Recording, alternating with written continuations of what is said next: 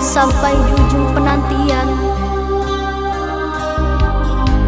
Oh, betapa berat, betapa sangat perjuangan sang bunda dalam menantang maut, dalam menantang ajal. Namun, semua itu dijalaninya dengan penuh kesabaran, dengan penuh ketabahan.